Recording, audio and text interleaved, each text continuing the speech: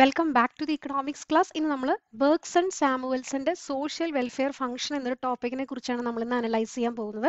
ഈ ഒരു ടോപ്പിക്കിൽ നിന്ന് സാധാരണ ചോദിക്കാറുള്ള ക്വസ്റ്റ്യൻ ഒന്ന് Bergson Samuelson social welfare function എന്താണെന്ന് ചോദിക്കാറുണ്ട്.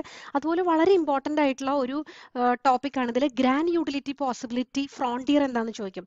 അതുപോലെ തന്നെ കൺസ്ട്രെയിൻഡ് ബ്ലിസ് എന്താണെന്ന് ചോദിക്കും. അപ്പോൾ ഇതൊക്കെ വളരെ സിമ്പിൾ ആയിട്ട് ഇന്നത്തെ ക്ലാസ്സിൽ ഞാൻ ഇൻക്ലൂഡ് ചെയ്തിട്ടുണ്ട്. അപ്പോൾ ശ്രദ്ധിച്ചിരിക്കുക സ്കിപ്പ് ചെയ്യാതെ അവസാനം വരെ കാണാൻ ശ്രമിക്കുക. ഓക്കെ എത്രയും പെട്ടെന്ന് നമുക്ക് നമ്മുടെ ക്ലാസ്സിലേക്ക് പോവാം. അപ്പോൾ ഈ ഒരു തിയറി ഡെവലപ്പ് ചെയ്തത് ബേർഗ്സൺ നയന്റീൻ തേർട്ടി എയ്റ്റിലാണ് ആദ്യം ഈ തിയറി ഇൻട്രൊഡ്യൂസ് ചെയ്തത്. പിന്നീട് ഇത് ഡെവലപ്പ് ചെയ്യുന്നത് സാമുവൽസൺ നയന്റീൻ ഫിഫ്റ്റി സിക്സിൽ ആണ് ഈ തിയറി ഡെവലപ്പ് ചെയ്യുന്നത്. വേറെയും ചില എക്കണോമിസ്റ്റുകൾ ഇതിന് വേണ്ടിയിട്ട് ഇതിന്റെ ഡെവലപ്മെന്റിന് വേണ്ടിയിട്ട് ശ്രമിച്ചിട്ടുണ്ട്. ഓക്കെ ഈ ഒരു തിയറിയുടെ എന്തിനാണ് ഇവർ ഈ തിയറി ഡെവലപ്പ് ചെയ്തത് എന്ന് ചോദിച്ചാൽ അവരുടെ ഒരു എയിം എന്ന് വെച്ച് കഴിഞ്ഞാൽ സോഷ്യൽ വെൽഫെയർ എങ്ങനെ മാക്സിമൈസ് ചെയ്യാൻ പറ്റും? ഒരു സൊസൈറ്റിയുടെ വെൽഫെയർ എങ്ങനെ മാക്സിമൈസ് ചെയ്യാൻ പറ്റും? അതെങ്ങനെ മെഷർ ചെയ്യാൻ പറ്റും? അത് ഫൈൻഡ് ഔട്ട് ചെയ്യാൻ വേണ്ടിയിട്ടാണ് ബേർക്സണും സാമുവൽസണും ഒക്കെ ഈ തിയറി ഡെവലപ്പ് ചെയ്തത്. അപ്പൊ ഈ ഒരു തിയറി കുറച്ചുകൂടി ഫേമസ് ആവാനുള്ള കാരണം എന്താണെന്ന് വെച്ച് കഴിഞ്ഞാൽ അതായത് ഈ തിയറിക്ക് ഒരു ആക്സെപ്റ്റൻസ് കിട്ടാനുള്ള കാരണം ഇവർ ഈ തിയറിയിലെ എക്സ്പ്ലിസിറ്റ് വാല്യൂ ജഡ്ജ്മെന്റ്സ് ഇൻട്രൊഡ്യൂസ് ചെയ്തെന്നുള്ളതാണ്. എക്സ്പ്ലിസിറ്റ് വാല്യൂ ജഡ്ജ്മെന്റ് എന്ന് വെച്ചാൽ എന്താർത്ഥം വാല്യൂ ജഡ്ജ്മെന്റ് എന്ന് വെച്ച് കഴിഞ്ഞാൽ ഒരു കാര്യത്തിന് ഗുഡ് ആണോ ബാഡ് ആണോ എന്ന് പറയാം. ഏതെങ്കിലും ഒരു കാര്യം ഗുഡ് ആണോ ബാഡ് ആണോ എന്ന് പറയുന്നതാണ് വാല്യൂ ജഡ്ജ്മെന്റ് അല്ലേ? അതുപോലെ തന്നെ എക്സ്പ്ലിസിറ്റ് എന്ന് പറയുമ്പോൾ അത് വെറുതെ ഇങ്ങനെ ഗുഡ് ആണ് ബാഡ് ആണെന്ന് പറയല്ല. അതിന് ഒരു ഡാറ്റ കൊടുക്കുക. അതായത് അത് കറക്റ്റ് ആണെന്ന് കാണിക്കുന്ന വിധത്തിൽ ചില പ്രൂഫുകൾ കാണിക്കുക. അതാണ് വാല്യൂ ജഡ്ജ്മെന്റ്സ് എക്സ്പ്ലിസിറ്റ് എന്ന് പറയാം. അപ്പോൾ ഇവർ ഇത് ഇൻട്രൊഡ്യൂസ് ചെയ്ത് ഈ തിയറിയിൽ എക്സ്പ്ലിസിറ്റ് വാല്യൂ ജഡ്ജ്മെന്റ്സ് ഇൻട്രൊഡ്യൂസ് ചെയ്യാണ് ഈ ഒരു തിയറിയിൽ അതിന്റെ ബേസിലാണ് അവർ പറയുന്നത്. എങ്ങനെയാണ് സോഷ്യൽ വെൽഫെയർ മാക്സിമൈസ് ചെയ്യാൻ പറ്റുക എന്ന് പറയാം. അതുപോലെ തന്നെ അവർ ഇമ്പോർട്ടൻസ് കൊടുക്കുകയാണ് നോർമേറ്റീവ് സ്റ്റഡി ഓഫ് വെൽഫെയർ എക്കണോമിക്സിന് നോർമേറ്റീവ് സ്റ്റഡി എന്ന് വെച്ചാൽ എന്താ ഉദ്ദേശിക്കുന്നത് അതായത് ഇപ്പോൾ ഒരു ഇക്കോണമിയുടെ ഡെവലപ്മെന്റ് ഒരു ഇക്കണോമിയുടെ ഡെവലപ്മെന്റ് അതുപോലെ തന്നെ ഒരു ഇൻവെസ്റ്റ്മെന്റ് പ്രോജക്റ്റ് അതായത് സോഷ്യൽ വെൽഫെയർ ഇൻക്രീസ് ചെയ്യാനായിട്ട് എന്തെല്ലാം ഇൻവെസ്റ്റ്മെന്റ് പ്രോജക്ട്സ് കൊണ്ടുവരണം. അതുപോലെ തന്നെ വെൽത്തിന്റെ ഡിസ്ട്രിബ്യൂഷൻ ഓക്കെ എങ്ങനെ വെൽത്ത് ഡിസ്ട്രിബ്യൂട്ട് ചെയ്താലാണ് ഒരു ഇക്കോണമി ഡെവലപ്മെന്റിലേക്ക് എത്തുക? അല്ലെങ്കിൽ സോഷ്യൽ വെൽഫെയർ എങ്ങനെ ഇൻക്രീസ് ചെയ്യാം? ഇങ്ങനെയുള്ള കാര്യങ്ങളെ കുറിച്ച് പറയുന്നതാണ് എന്ത്? നോർമേറ്റീവ് സ്റ്റഡി അപ്പൊ ആ നോർമേറ്റീവ് സ്റ്റഡീനെ സ്റ്റഡിക്ക് ഒരുപാട് ഇമ്പോർട്ടൻസ് കൊടുക്കുന്നുണ്ട് അവർ ഈ വെൽഫെയർ ഇക്കണോമിക്സിൽ അതുകൊണ്ടൊക്കെയാണ് ഈ ഒരു തിയറിക്ക് ഇത്രയും ഇമ്പോർട്ടൻസ് കിട്ടാൻ കാരണം. അപ്പൊ ഈ രണ്ട് പോയിന്റ് നിങ്ങളുടെ ആൻസറിൽ നിങ്ങൾ ഇൻക്ലൂഡ് ചെയ്യണം. അവർ എക്സ്പ്ലിസിറ്റ് വാല്യൂ ജഡ്ജ്മെന്റ് ഇൻട്രൊഡ്യൂസ് ചെയ്തു. അതുപോലെ തന്നെ gave importance to normative study of welfare economics okay ഇനി എന്താണ് ബർഗ്സിന്റെ സാമുവൽ ബെർഗ്സൺ സാമുവൽസിന്റെ സോഷ്യൽ വെൽഫെയർ ഫംഗ്ഷനിൽ എന്താണ് പറയുന്നത് എന്ന് നമുക്ക് നോക്കാം. അതായത് ഇത് ഇദ്ദേഹം പറയുന്നത് ഇത്രയേ ഉള്ളൂ. അതിന്റെ ഇക്വേഷൻ ഇങ്ങനെയാണ് അതിനെ എക്സ്പ്രസ് ചെയ്യുന്നത്. W equal to function of U one U two U three etcetera U N എന്ന് വെച്ചാൽ ഡബ്ല്യു എന്ന് പറയുന്നത് സോഷ്യൽ വെൽഫെയറിനെ കാണിക്കുന്നു. സൊസൈറ്റിയുടെ വെൽഫെയർ അത് എന്തിന്റെ ഫംഗ്ഷൻ ആണ്? Function of U one U two U three എന്നൊക്കെ പറയുന്നത് അവിടുത്തെ ഓരോ ഇൻഡിവിജ്വൽസിന്റെ ഓർഡിനൽ യൂട്ടിലിറ്റിനെ കാണിക്കുന്നത്. ഓർഡിനൽ യൂട്ടിലിറ്റി എന്ന് വെച്ചാൽ എന്താ? നമുക്കറിയാം. ഓർഡിനലും ഉണ്ട് കാർഡിനലും ഉണ്ട്. ഓർഡിനൽ എന്ന് പറഞ്ഞു കഴിഞ്ഞാൽ നമുക്ക് അതിനെ റാങ്ക് ചെയ്യാനേ പറ്റുള്ളൂ. കാർഡിനൽ എന്ന് പറയുമ്പോൾ ക്വാണ്ടിറ്റേറ്റീവ് ടേംസിൽ മെഷർ ചെയ്യാം. നമ്മളൊക്കെ പറഞ്ഞിട്ടുള്ളതാണ് മുന്നത്തെ ക്ലാസ്സുകളിൽ ഇതിവിടെ നമ്മൾ റാങ്ക് ചെയ്യാണ്. ഫസ്റ്റ് പ്രിഫറൻസ് സെക്കൻഡ് പ്രിഫറൻസ് എന്ന് പറഞ്ഞിട്ട് റാങ്ക് ചെയ്യുന്നതാണ് ഓർഡിനൽ പ്രിഫറൻസ് എന്ന് പറയുന്നത്. അപ്പോൾ ഇത് എന്തിന്റെ ഫംഗ്ഷനാണ് ഇതിനെ എക്സ്പ്രസ് ചെയ്യുന്നത് ഇങ്ങനെയാണ്. സോഷ്യൽ വെൽഫെയർ എന്ന് പറയുന്നത് ഇറ്റ്സ് എ ഫംഗ്ഷൻ ഓഫ് ഈ utilities of all the individuals of the society U എന്ന് പറയുന്നത് ഒരു സൊസൈറ്റിയിൽ എന്തുമാത്രം ഇൻഡിവിജ്വൽസ് ഉണ്ടോ. അതായത് ലാസ്റ്റ് പേഴ്സൺ വരെ എന്ന് പറയുന്നതാണ് ആ സൊസൈറ്റിയിലത്തെ ലാസ്റ്റ് പേഴ്സൺ വരെ നമ്മൾ ഇൻക്ലൂഡ് ചെയ്യണം. ഓരോരുത്തരുടെയും ഇൻഡിവിജ്വ ഓരോ ഇൻഡിവിജ്വൽസിന്റെയും യൂട്ടിലിറ്റി ഓർഡിനൽ ടേംസിൽ നമ്മൾ എടുക്കുകയാണ്. അപ്പോൾ Bergs and social welfare function എന്ന് പറഞ്ഞാൽ it's a function which establishes a relation between social welfare social welfare and all possible variables which affect each individuals welfare അപ്പോൾ ഈ ഓരോ ഇൻഡിവിജ്വൽസിന്റെയും വെൽഫെയറിനെ എഫക്ട് ചെയ്യുന്ന ഫാക്ടേഴ്സ് വേരിയബിൾസ് ഇത് തമ്മിലുള്ള റിലേഷനെ കാണിക്കുന്നതാണ് എന്ത്?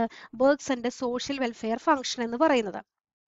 അത് കഴിഞ്ഞ് ഇതിന്റെ ചില എസംഷൻസ് നമ്മൾ എഴുതണം. എസംഷൻസ് എന്ന് പറയുന്നത് ഒരു സൊസൈറ്റിയുടെ വെൽഫെയർ ഡിപ്പെൻഡ് ചെയ്യുന്ന on each individuals wealth and income ഒരു സൊസൈറ്റിയിലെ ഓരോ ഇൻഡിവിജ്വൽസിന്റെയും വെൽത്തിനെയും ഇൻകത്തിനെയും ഡിപ്പെൻഡ് ചെയ്യുന്നു. അതുപോലെ ഇവിടെ എക്സ്റ്റേണൽ ഇക്കണോമീസ് ആൻഡ് ഡിസെക്കണോമീസിന്റെ പ്രസൻസ് ഉണ്ട്. എക്സ്റ്റേണൽ എന്ന് വെച്ചാൽ നമുക്കറിയാം പുറമേ എന്നുള്ളത് ഇക്കണോമീസ് ആൻഡ് ഡിസെക്കണോമീസ് എന്ന് പറഞ്ഞാൽ പോസിറ്റീവ് കാര്യങ്ങൾ ഇക്കണോമീസ് ഡിസെക്കണോമീസ് എന്ന് പറയുമ്പോൾ നെഗറ്റീവ് ആയിട്ടുള്ള കാര്യങ്ങൾ. അതിന്റെ ഒരു പ്രസൻസ് ഉണ്ട്. പിന്നെ മൂന്നാമത്തതാണ് inter personal comparisons of utility ഇതിൽ ഇൻക്ലൂഡഡ് ആണ്. Inter personal comparison of utility അതായത് ഓരോ വ്യക്തികളുടെയും ആ സൊസൈറ്റിയിലെ ഓരോരുത്തരുടെയും യൂട്ടിലിറ്റീനെ നമ്മൾ കമ്പയർ ചെയ്യാണ്. Inter personal comparison of utility involving explicit value adjustment എന്താണെന്ന് ഞാൻ പറഞ്ഞു. ഇനി നാലാമത്തെ അസംഷൻ ആണ് ഓർഡിനൽ പ്രിഫറൻസ് ഓഫ് ഇൻഡിവിജ്വൽസ് അത് നമ്മൾ പറഞ്ഞു ഇൻഡിവിജ്വൽസിന്റെ ഓർഡിനൽ പ്രിഫറൻസ് നമ്മൾ എടുക്കുന്നുണ്ട്. അപ്പൊ ഇത് നാലുമാണ് ഇതിന്റെ അസംഷൻസ് ഇനി ഇതിന്റെ ഡയഗ്രമാറ്റിക് ആയിട്ടുള്ള എക്സ്പ്ലനേഷൻ എങ്ങനെയാണെന്ന് നമുക്ക് നോക്കാം. അതായത് ഈ സോഷ്യൽ വെൽഫെയർ ഫംഗ്ഷൻ ബർഗ്സൺ അദ്ദേഹത്തിന്റെ സോഷ്യൽ വെൽഫെയർ ഫംഗ്ഷന് അദ്ദേഹം അത് എക്സ്പ്ലെയിൻ ചെയ്യുന്നത് സോഷ്യൽ ഇൻഡിഫറൻസ് കേർവിന്റെ ഹെൽപ്പോട് കൂടിയിട്ടാണ്. അപ്പൊ ഈ സോഷ്യൽ ഇൻഡിഫറൻസ് കേർവ് ആണ് ഇവിടെ കാണിച്ചിരിക്കുന്നത്. സോഷ്യൽ വെൽഫെയർ ഫംഗ്ഷൻ അദ്ദേഹം എക്സ്പ്ലെയിൻ ചെയ്യുന്നത് സോഷ്യൽ ഇൻഡിഫറൻസ് കേർവിന്റെ ഹെൽപ്പോട് കൂടിയിട്ടാണ്. അതിനുവേണ്ടി അദ്ദേഹം ഇങ്ങനെ ഒരു ഡയഗ്രത്തിലൂടെ റെപ്രസെന്റ് ചെയ്യുന്നു. ഒ വൈ ആക്സസിൽ ബി ഒരു ബി എന്ന് പറയുന്ന ഒരു ഇൻഡിവിജ്വലിന്റെ യൂട്ടിലിറ്റി എടുക്കുന്നു. ഒ എക്സ് ആക്സസിൽ എ എന്ന് പറയുന്ന ഒരു ഇൻഡിവിജ്വലിന്റെ യൂട്ടിലിറ്റി എടുക്കുന്നു. ഇതിലിവിടെ കാണിക്കുന്നത് ഇത് സോഷ്യൽ ഇൻഡിഫറൻസ് കേവ് ആണ്. അതായത് ഹയർ ഇതിലേക്ക് പോകുന്തോറും ഹയർ ഹയർ സാറ്റിസ്ഫാക്ഷൻ അതായത് സൊസൈറ്റിയുടെ വെൽഫെയർ ഹയർ സോഷ്യൽ വെൽഫെയറിനെയാണ് കാണിക്കുന്നത്. ഹയർ ഇൻഡിഫറൻസ് കേവിലേക്ക് പോകുന്തോറും ഹയർ സോഷ്യൽ വെൽഫെയറിനെയാണ് ഇത് റെപ്രസെന്റ് ചെയ്യുന്നത്. അപ്പോൾ ആദ്യത്തെ ഈ ഡബ്ല്യു വൺ എന്ന് പറയുന്ന സോഷ്യൽ ഇൻഡിഫറൻസ് കർവിൽ നമുക്ക് രണ്ട് പോയിന്റ് കാണാം ക്യൂവും ആറും ഇതിൽ ഏത് ചൂസ് ചെയ്താലും സൊസൈറ്റിയുടെ വെൽഫെയർ സെയിം തന്നെയാണ്. സോഷ്യൽ വെൽഫെയറിൽ ചേഞ്ച് ഇല്ല. പക്ഷേ എസ് എന്ന് പറഞ്ഞ ഹയർ ലെവലിലുള്ള ഈ സോഷ്യൽ വെൽഫെയർ ഈ കർവിൽ ഇൻഡിഫറൻസ് കർവിൽ നമ്മൾ പോകുമ്പോൾ ഈ സോഷ്യൽ ഇൻഡിഫറൻസ് കർവ് ഹയർ ലെവലിൽ ഡബ്ല്യു ടൂൽ നമ്മൾ പോകുമ്പോൾ എസ് എന്ന് പറഞ്ഞ പോയിന്റ് കാണുന്നത് അതായത് അത് കാണിക്കുന്നത് എങ്ങനെയാണ് ഹയർ ലെവലിലേക്ക് പോകുന്നത് എങ്ങനെയാണ് സൊസൈറ്റിയുടെ വെൽഫെയർ ഇൻക്രീസ് ചെയ്യാന്ന് പറഞ്ഞാൽ ഒരു സൊസൈറ്റി കൂടുതൽ അതിന്റെ വെൽഫെയർ ഇൻക്രീസ് ചെയ്യുന്നു ഒരു ഡെവലപ്മെന്റിലേക്ക് പോകുന്നു. അപ്പൊ ഹയർ സോഷ്യൽ ഇൻഡിഫറൻസ് കർവിലേക്ക് ഇക്കോണമി മൂവ് ചെയ്യണം. അപ്പൊ അതിലത്തെ ഒരു പോയിന്റ് നമ്മൾ എടുക്കുമ്പോൾ അവർക്ക് തീർച്ചയായിട്ടും അവിടുത്തെ എന്താണ് സോഷ്യൽ വെൽഫെയർ ഇൻക്രീസ് ചെയ്യുന്നുണ്ട്. ഇവിടെ നിങ്ങൾക്ക് പെട്ടെന്ന് ഒരു ഡൗട്ട് തോന്നും. ക്യൂ എന്ന് പറഞ്ഞ പോയിന്റിൽ നിന്നും എസ് എന്ന് പറഞ്ഞ പോയിന്റിലേക്ക് വരുമ്പോൾ ക്യൂവിന്റെ ബിയുടെ ബിസ് യൂട്ടിലിറ്റി എസിലേക്ക് വരുമ്പോൾ ഇവിടെ കുറഞ്ഞിട്ടുണ്ടല്ലോ. പിന്നെ എങ്ങനെയാണ് സോഷ്യൽ വെൽഫെയർ ഇൻക്രീസ് ചെയ്യുന്നത്? അത് കാൽഡർ ഹിക്സിന്റെ തിയറി ഞാൻ പറഞ്ഞപ്പോൾ പറഞ്ഞിട്ടുണ്ടായിരുന്നു. അതായത് ഒരു വ്യക്തിക്ക് ഉണ്ടാകുന്ന ലോസിന് കോമ്പൻസേറ്റ് ചെയ്യുന്ന വിധത്തിൽ മറ്റൊരു വ്യക്തിക്ക് ഗെയിൻ ഉണ്ടാവുകയാണെങ്കിൽ സോഷ്യൽ വെൽഫെയർ ഇൻക്രീസ് ചെയ്യാണ്. അല്ലെ? ടോട്ടൽ യൂട്ടിലിറ്റി ഇൻക്രീസ് ചെയ്യാണ്. അതാണ് ഇവിടെയും അപ്ലൈ ചെയ്യുന്ന ഒരു റൂൾ അതായത് ഇവിടെ ഒരു വ്യക്തിക്ക് ലോസ് സംഭവിക്കുന്നുണ്ടെങ്കിലും മറ്റൊരു വ്യക്തിയുടെ ഗെയിൻ എന്ന് പറയുന്നത് ഈ ഒരു ലോസിനെ കോമ്പൻസേറ്റ് ചെയ്യണം. അപ്പൊ സോഷ്യൽ വെൽഫെയർ നോക്കുമ്പോൾ അത് ഇൻക്രീസ് ചെയ്യണം. ഡബ്ല്യു ത്രീയിലേക്ക് പോകുമ്പോൾ വീണ്ടും സോഷ്യൽ വെൽഫെയർ ഇൻക്രീസ് ചെയ്യുന്നുണ്ട്. അപ്പോൾ നമ്മൾ ഈ തിയറിയിൽ പറഞ്ഞു എന്തിനു വേണ്ടിയിട്ടാണ് ഈ തിയറി ഡെവലപ്പ് ചെയ്തതെന്ന് അദ്ദേഹം നമ്മൾ പറഞ്ഞത്. അതായത് to find out maximisation of social welfare എങ്ങനെ സൊസൈറ്റിയുടെ വെൽഫെയർ നമുക്ക് മാക്സിമൈസ് ചെയ്യാം. അപ്പോൾ നമുക്കറിയാം ഹയർ ലെവലിലേക്ക് so higher indifference social indifference കർവിലേക്ക് പോകുന്തോറും സൊസൈറ്റിയുടെ വെൽഫെയർ കൂടുന്നുണ്ട്. നമുക്ക് അതിലത്തെ ഒരു പോയിന്റ് നമുക്ക് ചൂസ് ചെയ്യാം. പക്ഷെ ഇങ്ങനെ ഏത് ഹയർ ലെവലിലേക്ക് പോകുമ്പോഴും നമുക്ക് ചൂസ് ചെയ്യാൻ പറ്റുമോ ഇല്ല. അതിന് കാരണം ഒരു സൊസൈറ്റിയിൽ കുറെ റെസ്ട്രിക്ഷൻസ് ഉണ്ട്. റെസ്ട്രിക്ഷൻസ് എന്ന് പറഞ്ഞാൽ ഒരു സൊസൈറ്റിയുടെ ഡെവലപ്മെന്റിന് വേണ്ട കുറെ കാര്യങ്ങൾ. ഇപ്പൊ ടെക്നോളജി ഉണ്ട് ഫാക്ടർ എൻഡോമെന്റ്സ് ഉണ്ട് അതുപോലെ തന്നെ ഇൻഡിവിജ്വൽസിന്റെ പ്രിഫറൻസസ് ഉണ്ട്. അതൊക്കെ ഒരു സൊസൈറ്റിയുടെ കൺസ്ട്രെയിൻസ് ആണ് റെസ്ട്രിക്ഷൻസ് ആണ്. എന്തൊക്കെയാണ്?